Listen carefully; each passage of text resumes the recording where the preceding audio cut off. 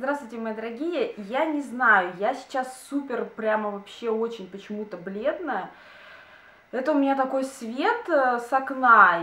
Я вот дико извиняюсь, не знаю, нормально будет с этим светом или нет. Я смотрю на себя, я очень бледная. У меня румян просто тьма на, на глаза, ой, на, на, на щеках. Но я не знаю, что с этим делать. В общем, не знаю, попробую сейчас, может быть, как-нибудь в другое место, хотя там какой-то желтый свет.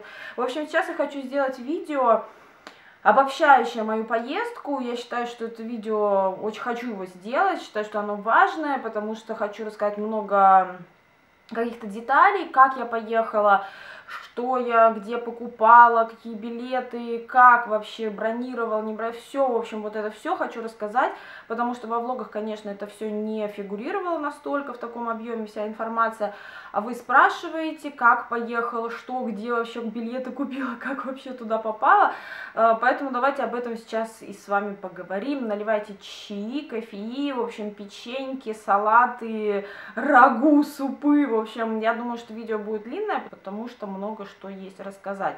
Я надеюсь, что оно получится информативным и познавательным. Прям такой этот в мире путешествий. Поехали. Так, нет, я перебазировалась в другое место, потому что там я совсем супер бледная. Я хочу чуть-чуть поживее быть, а то я совсем какая-то мертвенно-бледная. А, кстати, да, про покупки одежды и про то, что я купила вообще в Италии, будет видео. Сейчас я постараюсь его снять, если нормальный свет будет. А, вот эта кофта там куплена, ну, естественно, муранская вот эта штучка. В общем, все, классика жанра. Ну, а сейчас давайте поговорим с вами о том, как я поехала, потому что вопросов было много, я их не не выписывала те, которые вопросы вы задали, но я просто помню, что именно, э, в каком контексте были вопросы. И давайте по порядочку сейчас с вами об этом поговорим, если кому-то интересно.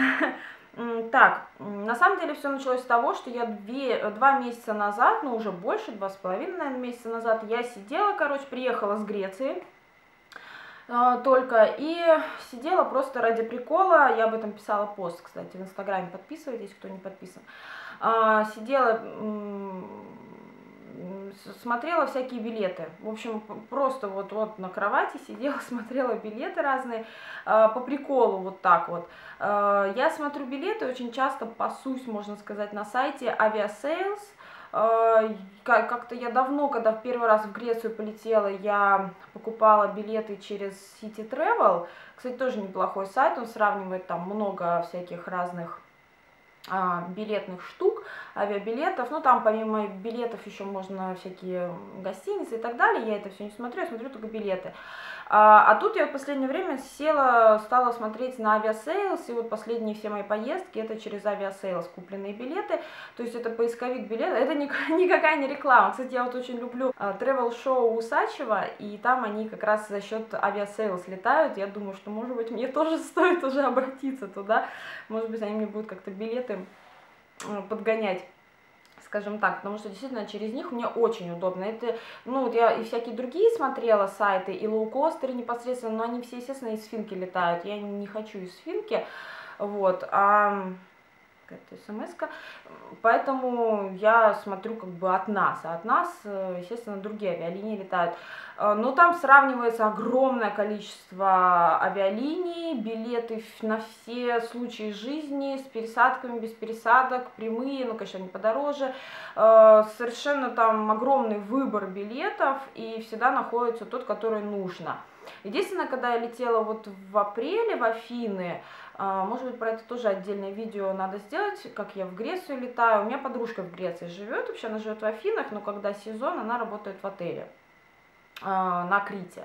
Сейчас вот как бы, ну, последние три года вот так. Я вот к ней на Крит летала, и в Афины летала, и когда вот я в апреле в Афины летала, я покупала билеты через Люфгансу, потому что мне нужны были четкие билеты по, по времени. То есть я привязана была к времени, потому что она меня встречала в определенное время, в определенное время мне нужно было улететь, потому что она тоже уезжала, улетала. И как бы, ну, в общем, я была привязана по времени, и почему-то я пошла сразу к Люфганзе, и в Люфганзе прям вот очень четенько у меня все получилось купить.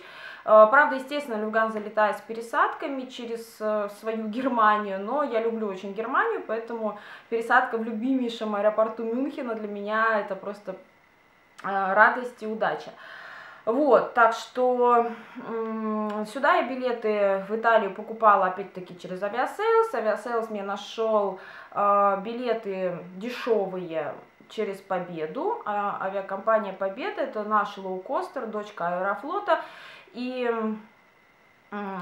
он меня, иногда некоторые э, билеты можно купить прямо на самом Aviasales, он не перекидывает на э, сайт компании, ничего. А вот Победа, он меня перекинул на сайт Победы. И билеты вот два месяца назад, да, я сидела, я такая смотрю, просто вообще любое направление гуглила, там есть э, типа, куда полетим, куда угодно. Вот я вот это гуглила и смотрю, вышло Милан 8 тысяч. И я такая, блин, 8 тысяч туда-обратно, билеты надо брать, а чё, куда вообще, как, я вообще без понятия, просто я увидела эту дешевую сумму, и то, что там надо еще бронировать гостиницы и так далее, думаю, ладно, потом разберусь, надо брать. И, короче, в общем, пошла на этот сайт э, Победы, но Победа – это отдельная история, которая заслуживает внимания. А, лоукостер Победа. Лоукостер это, ну, типа дешевые билеты. А, там не кормят на борту, там сам борт очень маленький, то есть там нету даже бизнес-класса, ну, может быть, других каких-то вот EasyJet, Ryanair, они европейские, они все лоукостеры. Но, в общем-то, супер бюджетные билеты, где все по минимуму, все вот так вот ограничено, ограничено, ограничено. А, но зато они дешевые. Вот. И Победа это вот тоже лоукостер. Я пошла на сайт Победы, начала бронировать билеты, а там в несколько этапов. Я не знаю, на EasyJet, на Ryanair, как там бронируются билеты, там тоже есть такие плюшки или нет, но в Победе, э, вот Викуля у меня бронировала через Победу, и ей не выходили вот эти все дополнительные разводные штуки, а мне почему-то вышли. Я ну, на одном сайте бронировали, не знаю. В общем, э, я, значит, выбираю билет, окей, все нормально, там на эту дату, все. Дальше следующий пункт бронирования, да. Перехожу далее выберите место. Я такая, я не хочу, мне, мне плевать, где сидеть, хоть, блин, там под крылом самолета, главное, чтобы я долетела, мне вообще без разницы. Окно, не окно, проход, не, не важно, главное долететь. Я не хочу выбирать билет, не хочу выбирать место. Нет, выберите. И он мне блокирует кнопку, чтобы дальше пройти, да, ну, бронирование. Думаю, да ё-моё, что за фигня? Думаю, ладно, выберу самый дешевый билет, там 100, э, там место. 190, ну, короче, 200 рублей, 199, э, самый дешевый у прохода я взяла, хорошо, туда-обратно, забронировала, уже не 8 тысяч, да, ну, вы считаете. Дальше, Багаж. Багаж там не входит. В обычных э, авиакомпаниях там входит размер багажа, ручной клади, вернее. Э, там в основном чемодан, нормальный чемодан, обычно такого хорошего стандартного размера, э, где-то килограмм до 8 до 10 можно с собой брать в ручную кладь. Но лоукостер на фу, но на лоукостерах такого нет. Я не знаю, как на других, вот на Победе этого нет. Согласно законодательству, там ты можешь провести ручную кладь размером 32 на 30 на 27, короче, вот такая торбочка небольшая, но ты можешь провести там хоть гантель любого веса. Там вес не, не оговорен в законодательстве. И это очень странно, потому что эту же фигню надо класть наверх, а если там тяжелая она, ну, в общем, непонятно. Короче, там ограничивается только габаритами уже отпадает э, только ручная кладь, чтобы сэкономить на багаже. Окей, э, выбор багажа до 10 килограмм 700 рублей, ну там все 699, ну без рубля, ну это типа маркетинговая такая фишка. 700 рублей багаж до 10 килограмм, 1400, о, 1500 э, багаж до, до 200, до 20 килограмм.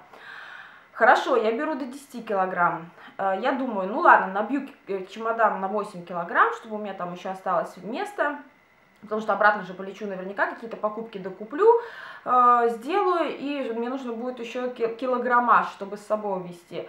Но в итоге, короче, сам чемодан у меня весит уже 3 килограмма, короче, я набила 9 900.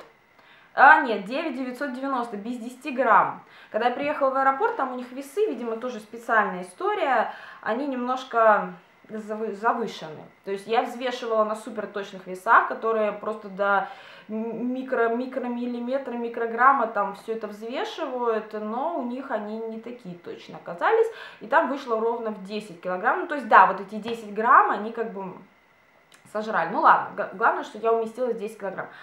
А, то есть считайте, плюс 400, 8 400, там 8 что-то 150 было, 8 200, 8 400, ну, короче, 8 500 уже, плюс 600 килограмм уже 9, да, ну, то есть вот потихонечку набирается сумма. То есть это не такие уж дешевые билеты в итоге получаются, потому что ты потихонечку вот это вот все вот тю -тю -тю. А дальше без того, как ты не выберешь, ну без багажа можно, но без выбора билетов у меня не получилось. Потом там, выберите страховку. Я думаю, да мне плевать, я не хочу страховку. Там страховка жизни, страховка багажа, страховка пятки, носка, я не знаю, ну куча разных страховок. Я думаю, мне не нужны страховки, я не хочу ничего. У меня есть вот эта стандартная, ну, типа жизни страховка и все, ну, которая с визой идет. Мне не надо ничего. Нет, выберите, думаю, да ё-моё, что ж такое. Я выбрала самую дешевую, туда-обратно, опять-таки это же все. А, еще чемодан же обратно, короче, 1200, короче, вот уже там в десяточку выходит, уже не 8, думаю, блин, ну я хотела дешевле, ну ладно. А, выбрала страховку какую-то там за 150 рублей, самую дешевую, что-то там потеря багажа или что-то в этом роде. Думаю, ну ладно, если потеряется багаж с нашей авиакомпании, с этой победой, я первый раз лечу, ладно уж, бог с ним на всякий случай, это уж ладно, ну вот это не жалко, ладно, тем более она дешевая. И в итоге, короче, спустя вот эти все 150 вы выберите кучу денег, отдайте, нам еще не хватает на Lexus, я могу нажать кнопку «Оплатить». И в итоге у меня билеты вышли в 10 500. А, и, собственно, вот. Это часть билетная. Билетная история. Я купила билеты, все, держу их на руках.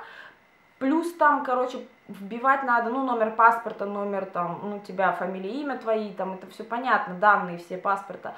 Но потом еще пишут такой, вбейте номер визы. Я такая, да ё а у меня в этот момент, Uh, у меня как бы виза, она заканчивалась 4 октября, 23 у меня с октября самолет, и я понимала, что мне нужно либо стык в стык визу делать, у меня финская, мне на два года дают, либо как бы заранее, еще заранее подавать. То есть в любом случае я не могу вбить им ту визу, которая у меня на данный момент есть, потому что она будет на тот момент, когда будет полет. Он не действительно думают, да идите нафиг. Ну и там, короче, дальше написано, что можете и не вбивать, потом типа вобьете. Я так вообще и не вбивала, даже ничего не исправляла, никакие данные.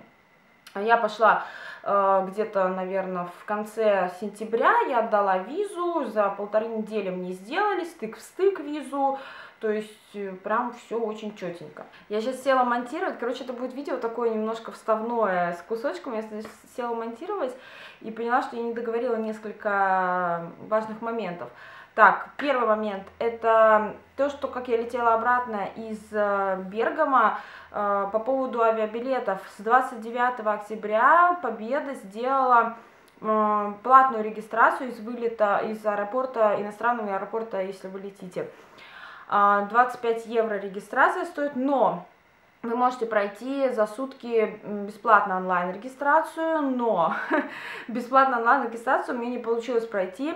Я заходила за 12 часов, за 13, за 14, за 15, каждый час заходила, и он, он меня выходил, ну, каждую э, пункт подтверждаю, подтверждаю, подтверждаю, подтверждаю, и последнее, когда мне нужно подтвердить, что я брон... ну, регистрируюсь онлайн, он меня блокирует, он мне не дает э, пройти, и у всех людей в очереди, ну, у 90% людей в очереди такая история была, что они не могли э, зарегистрироваться онлайн. Я думаю, что это тоже какая-то история специальная сделана, чтобы 25 евро срубить, почему нет.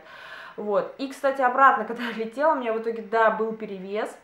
А, когда я подошла на стойку регистрации, я даю паспорт, они такие, вы не зарегистрировались онлайн? Я говорю, нет, нет, у меня не получилось, потому что это наша победа. У нас же, что ж, у нас как же, 25 евро сейчас я вам заплачу, я знаю, выписывайте чек. И пока она там выписывала, я кинула на, на ленту чемодан и смотрю 11 500. Твою дивизию, думаю, у меня перевес полтора килограмма, сейчас мне еще за это платить надо будет. И в итоге, короче, пока я стояла в соседнюю там окошечко, чтобы заплатить 25 э, евро за регистрацию, общем, опять я люблю свои там вообще вещи по аэропорту раскидывать, я открыла чемодан, и все самое тяжелое, что знала, что тяжелое, я на себя надела. В общем, я надела на себя, и э, потом, когда отдавала чемодан, у меня было 9 9700, то есть я вытащила прям вот четенько очень все. Э, и багаж уехал, я все это запихала в огромный пакет, потому что я все на себя намотала, я мокрая как мышь была, потому что я намотала кофту теплую, шарфы, четыре шарфа, просто тут сумка одна, сумка вторая, третья, а там фишка в том, что э, у Победы есть перед посадкой еще дополнительная проверка, э, там такая стоит какая-то железная штука, в которую ты должен положить всю свою ручную кладь, и она должна закрыться крышкой, ты должен, должен уместить там все, что у тебя есть с собой. И я понимала, что я не умещу все, что я на себя надевала, туда. Но когда я подошла, я все это, короче, запихала так в пакет и пыталась пройти, как бы даю, а там как бы этот чувак стоит, который смотрит, кто с каким багажом-то едет в салон. И я такая, типа, ну, за собой пытаюсь прикрыть этот пакет, хотя пакет в 20 раз больше меня. Думаю, блин, сейчас меня как бы точно завернут. Ну, в общем, я даю этот паспорт, и меня выцепляет из очереди. Думаю, блин, я когда-нибудь улечу отсюда. Я все время улетаю с приключениями. Лечу нормально, улетаю с приключениями. И, и короче, меня выцепляют, и такие, типа, можете свою ручную кладь положить вот в эту вот фиг, фиговину сваренную? И я понимаю, что как бы я попала, ну, мне, ну, все, меня туда не вместится. И я такая вставляю, а она даже не, ну, не вставляется в эту, в эту фигню, просто она сверху. И там тетка подходит такая, типа, ну вы видите, что у вас не влезает? Я такая, и чё?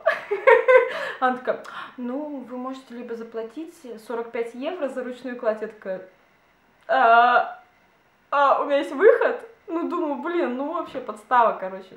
Проще было за чемодан заплатить. Короче, это, я, это я. Я вот, вроде я все очень продумываю, но по факту ужас.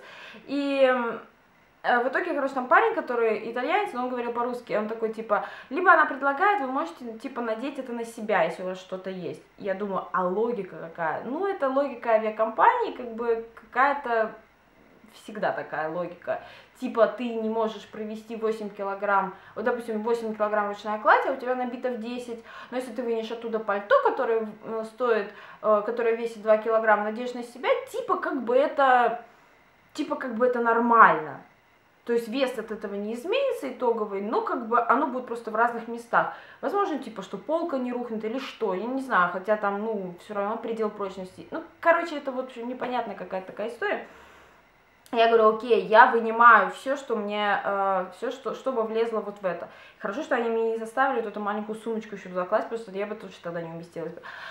В итоге, короче, я вынимаю пальто, я вынимаю опять все эти тюки, опять это все шарфы, четыре шарфа наматываю, сюда навязываю две кофты шерстяные, просто как типа салт-пояс из шабашей шерсти, блин, получается.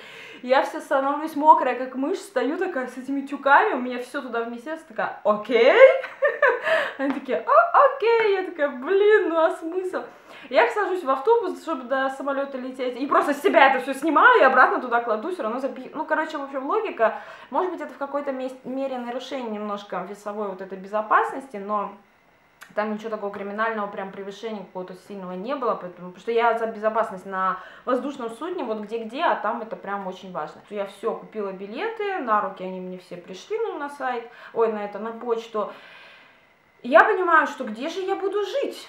А, начинаю гуглить, то есть заранее, вот, ну, прочувствуйте уровень моего желания путешествовать, и вообще не важно как. Я купила билеты, все, я лечу. А где я буду жить? На что я буду жить? Че вообще? Я, то есть, вообще без, без этого. Стал вопрос, где я буду жить. А, и я начала гуглить на букинге, как обычный пользователь, а, начала гуглить отели и поняла, что самый дешевый отель это какой-то вот этот хостел, где там мальчики, девочки на вот этих двухуровневых этих кроватях двухэтажных спят. Короче, вот этот ужас, э, честно, я никогда в таких местах не останавливалась, я очень, ну не то что брезгливая, ну и как-то мне важно отдыхать ночью, а когда я рядом, ну чувак-то у меня в итоге храпел, да, через стенку, но тем не менее все равно в своем как бы помещении была. В общем, это было достаточно такой, такой шаг, я думаю, нет, я в такое не впишусь. А нормальные отели, они стоили там от 25, от 20, ну это еще такой вообще просто такой вообще никакой, там, ну короче от тридцатки на неделю, ну на 7 ночей э, отель. И я такая, блин, что-то я как-то маханула с этими билетами, а билеты-то уже на руках, и как бы окей, я не знаю, их даже может, ну, уже за несколько там дней до полета нельзя сдать, да и так, по-моему, нельзя, потому что они супер дешевые. Короче, думаю, блин, ну ладно, как бы уже подступать некуда, впереди Москва. И я, значит, захожу, думаю, ну ладно, букинг, как бы, окей, отели, ладно, до свидания, заходим на Airbnb. Airbnb это сервис, я думаю, что все знают, реклама по телевизору, и вообще это вся такая очень знаменитая, известная штука. Это сайт, где по всему миру сдаются квартиры. То есть, ну, частные как бы объявления, да, частные люди, владельцы, собственники, они платят с этого налог и так далее, все это официально. А, ну, просто вот такой сайт, который обобщает аренду вот для путешествий всех квартир мира. Ну, кто там заявился на этом сайте. Очень удобный на самом деле сервис, э, и вот это слоган, да, не приезжай как-то там типа как-то не приезжай куда-то, приезжай пожить, вот да, вот, вот приезжай пожить конкретно в квартире этой страны. Э, я начала гуглить эм, квартиры в Милане, там очень удобный поиск по э, местоположению, то есть там высвечиваться можно просто по как бы цене гуглить, можно просто карту вывести, и на карте уже точечками будет на, э, ну, обозначено, тут, например, там 1700 ночь, там центр Милан, там 1800, 1000, ну, то есть как бы точечками обозначены цены за ночь и местоположение квартиры. Э, я как бы, ну, гуглила-гуглила, там рамку можно выставить по ценовой категории за ночь. Я выставила там сначала тысячу, ну там нашли какие-то совсем в районе Бергама, короче, далеко, э, ну или совсем там в пригороде Милана, тоже добираться каждый день не это.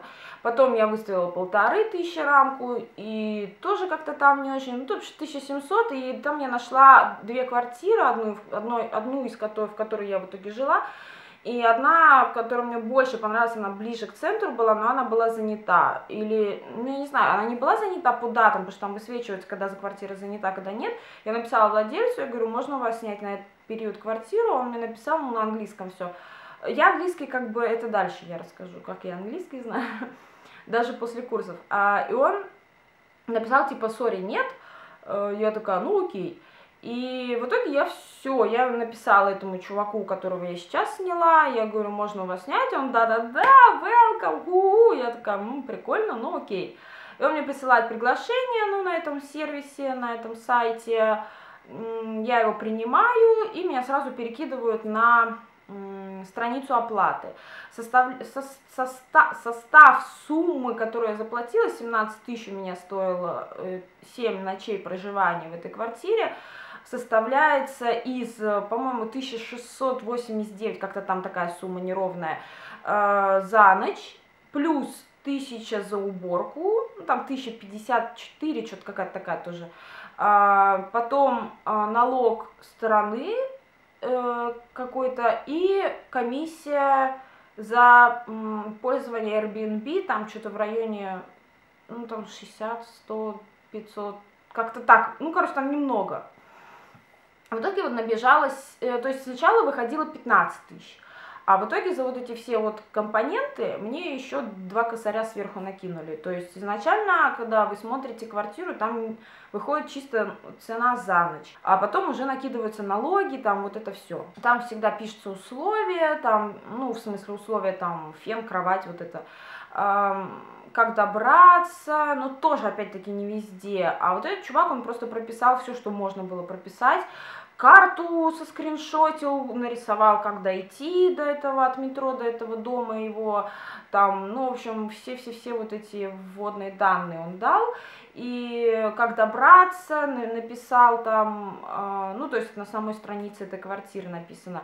В общем, много там всякой информации было, по которой можно было... Ну, э, в любом случае, я вбила в Google карту, я сразу увидела фотографию этого места, и когда я туда приехала, я сначала э, вышла с метро и думаю, блин, я достала эту карту, короче, посмотрела, нифига не поняла, как идти, потому что когда ты как бы по карте, ты видишь, ну, со спутника, да, сверху, и ты как бы, ну, да, окей, тут, тут все понятно, а когда ты в реальности, ты такой, елка, дом, э, пойду туда. И я вбила Google карту, да, навигатор, ну, этот путь, и он меня обвел, блин, вообще вокруг, я с этим чемоданом перлась, ну ладно, потом я на следующий день нашла уже короткую дорогу, которую вот он как бы там через парк, по которой мы ходили, кто не смотрел влоги, обязательно посмотрите. И в итоге я когда пришла уже на эту улочку, я смотрю, так как я посмотрела по Google, ну, по фотографиям, вот эти, ну, то, что Google ездит, снимает машинка, все как бы я увидела, да, о, огонь туда, куда надо приехала. А, позвонила ему по WhatsApp и говорю, типа, Фабио, I'm here, I'm near your flat. Вот, как бы, это мой уровень English. Ну, то есть я как бы стараюсь говорить без акцента, ну, не то, что без акцента, без русского акцента, да, вот это, да, но как бы они не очень понимают, когда ты пытаешься из себя англичанина делать, да, поэтому I'm near your flat, вот это вот. Она, о, окей, сейчас я типа выйду встречу. А он хорошо очень знает английский, но с э, акцентом итальянским. Поэтому я так иногда... А, да, да, да. Ага, все поняла. Ага.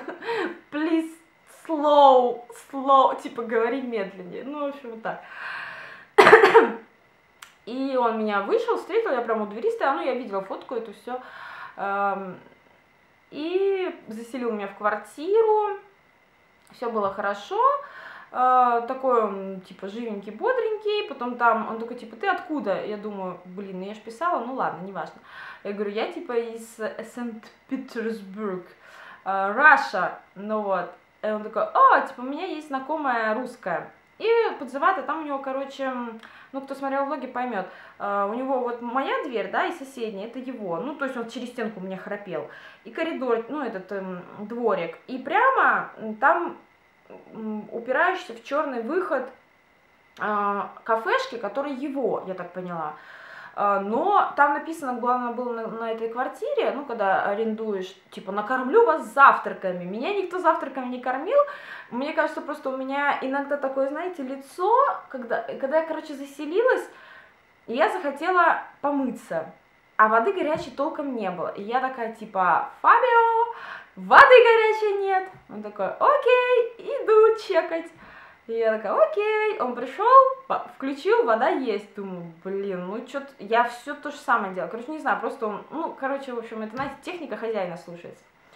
Потом я такая понимаю, что там какая-то белая херовина, и она дует холодным воздухом. И я понимаю, что я замерзаю. Где батареи? Там написано, что центральное отопление или обогреватель, должно быть тепло. А я жуткий зяблик, поэтому я думаю, блин, если я еще буду спать в холоде, я вообще сдохну. И я ему опять типа, Фабио, где батареи? Почему тепло? Почему холодно?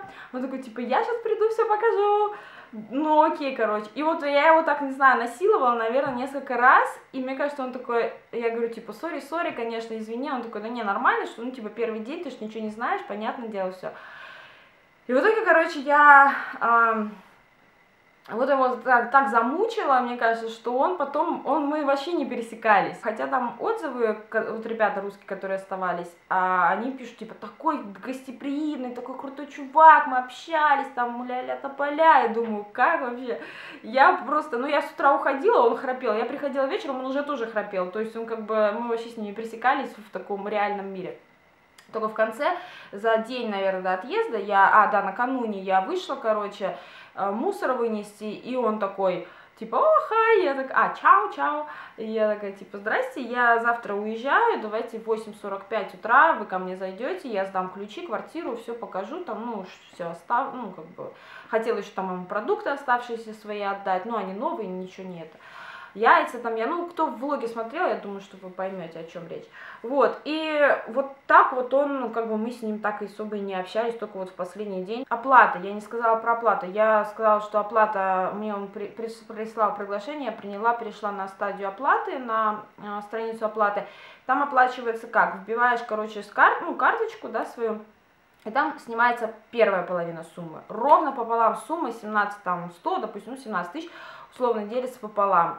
А, снимается первая половина суммы, и за неделю до поездки, если у вас большой люфт, если нет, то, как бы, видимо, там, может быть, разом снимается, может быть, все равно за три дня, может быть, все равно бьется сумма, может быть, она не бьется, я не знаю, вот, ну, насколько, если заранее брать, у меня снялось сначала половина, и за неделю снялась с этой карты, просто я ничего уже даже не убирала, но запомнила это, эту карту, сайт, и просто мне присылает уведомление, что завтра будет снята ну, второе, второе, вторая часть взноса с такой-то номера карты, э, с которой вы уже как бы платили. Я такая, окей, ну, то есть я даже ничего не нажимала, оно автоматически все сняло. Вот это тоже очень важный момент, я не знаю, как вот других ситуациях, но вот когда заранее, то он бьет э, вот эту сумму пополам. А, квартира находилась, конечно, далековато от центра, но вот кто живет в Питере, примерно расстояние, ну, не такое расстояние, по, э, по веткам метро, скажем, ну, короче, типа, ну, даже не то, что, как по локации местоположения квартиры, это, грубо говоря, окраина.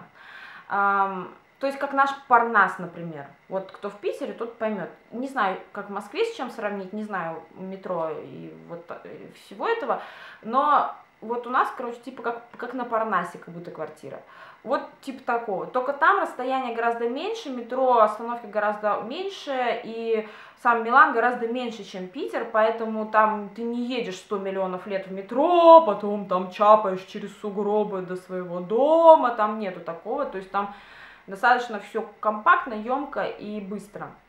А на метро, вот если садишься на центральном вокзале и выходишь с вагона уже на, на моей станции, ровно ехать 25 минут. Но это с учетом того, что ты переходишь, там люди, там вот это все. То есть кажется на самом деле очень быстро, но в то же время вроде как и не так не очень-то быстро. Интернет, интернет.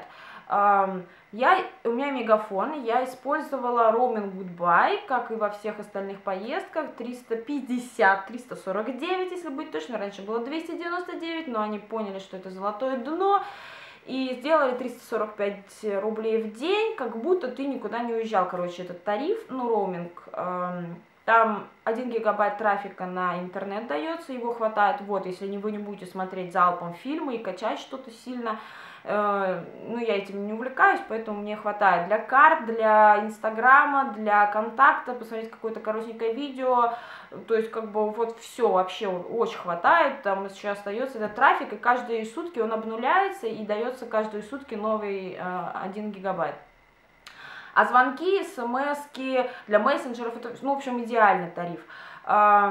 Для звонков, для смс остается тот же денежный, скажем, диапазон, ну, короче, тоже как будто ты в домашнем регионе, то есть как будто ты никуда не уезжал.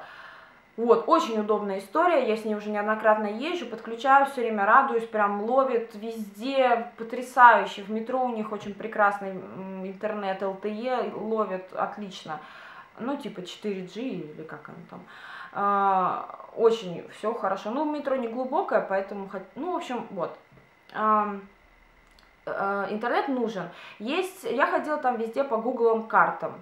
Google карты это просто кладезь э, вообще пути, для путешествий. Это, я не знаю, это супер идеальное изобретение человечества. Я благодарна Google за эти карты, за маршруты, которые он выстраивает. Если бы не они, я бы просто встала бы вот просто на вокзале, приехала бы, да, а я прилетела в Бергамо, да, да, лоукостер прилетает в Бергамо. А, большинство лоукостеров прилетает в Бергамо, если правильно.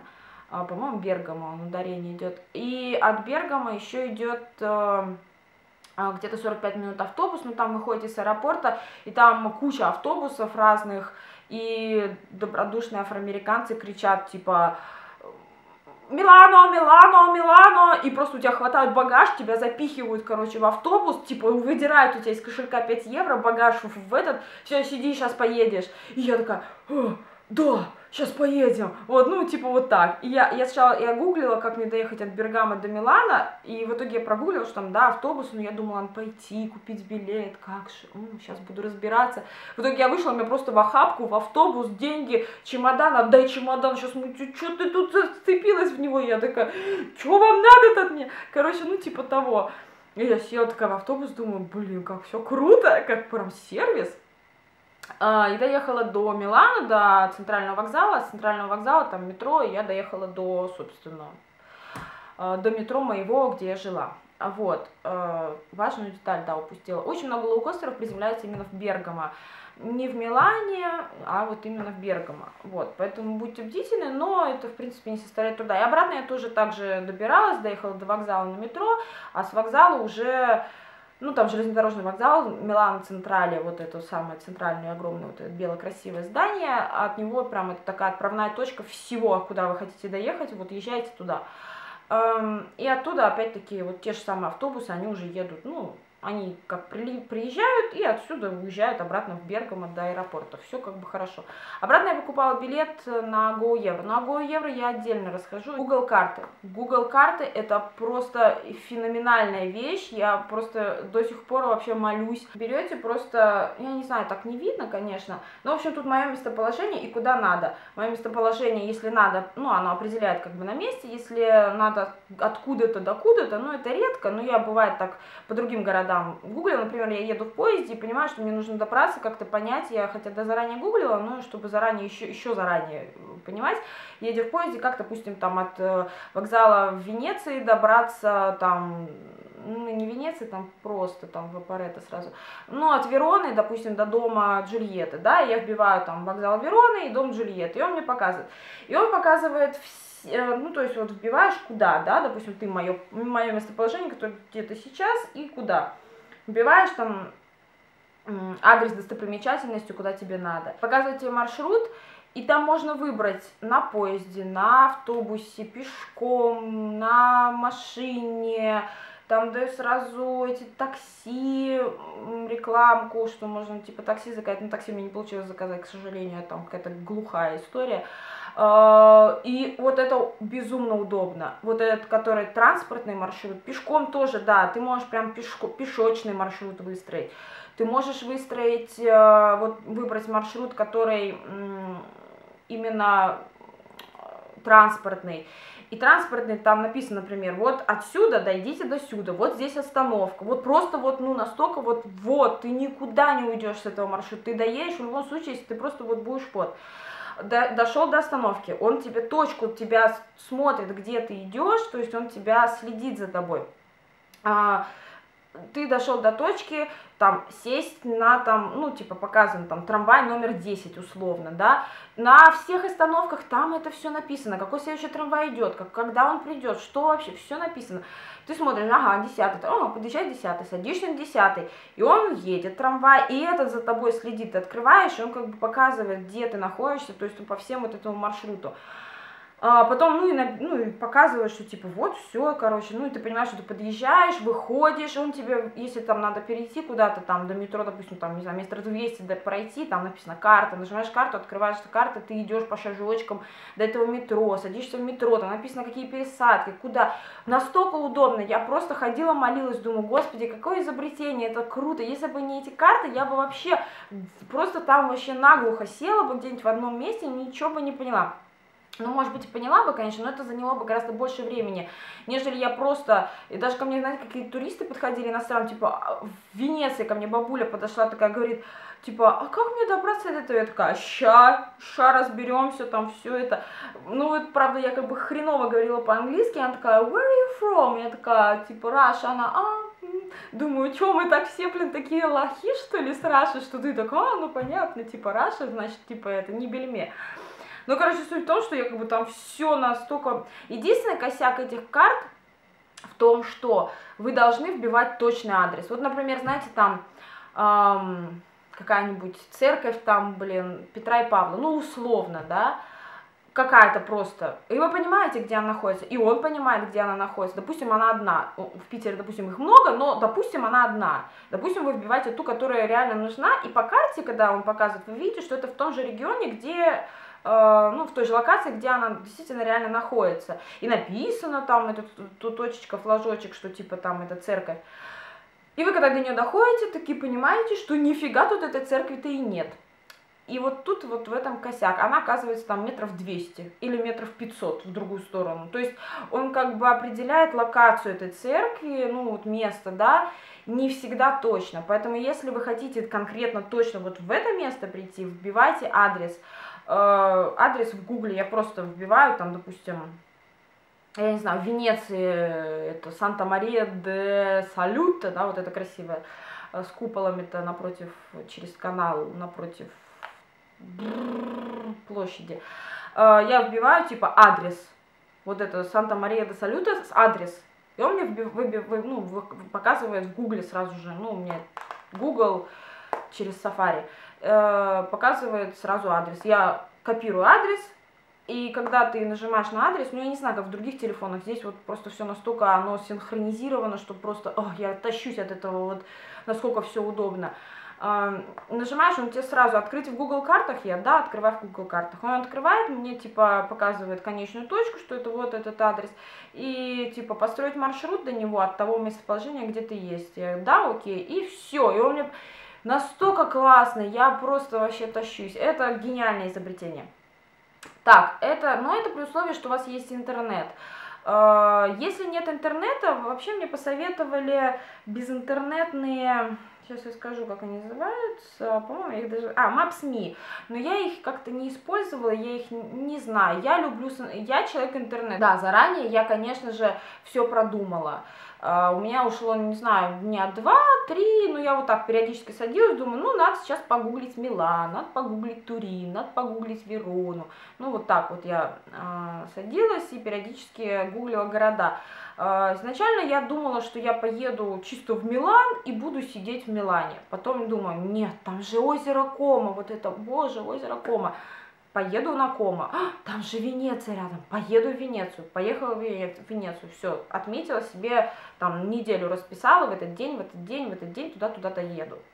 Потом э, Катюша Текстиль Хаус говорит, кстати, подписывайтесь на канал Текстиль Хаус, ссылочка внизу будет говорит такая, съезди в Турин, красивый город, центр красивый. Окей, еду в Турин.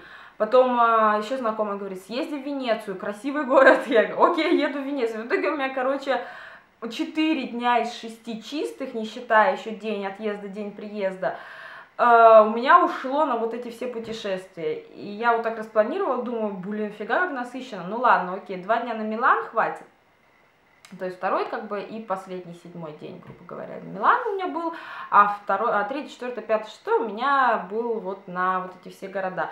Каждый день я ехала на вокзал, садилась в поезд, ехала в город, гуляла, обратно на обратном, ну, обратно возвращалась в Милан, спала, вставала, ехала, спала, вставала, ехала. В общем, вот такая вот круговерть, 4 дня была. Давайте, наверное, на этом видео закончим. Про билеты я расскажу в следующем видео, потому что никто не будет смотреть 20 миллионов часовое видео.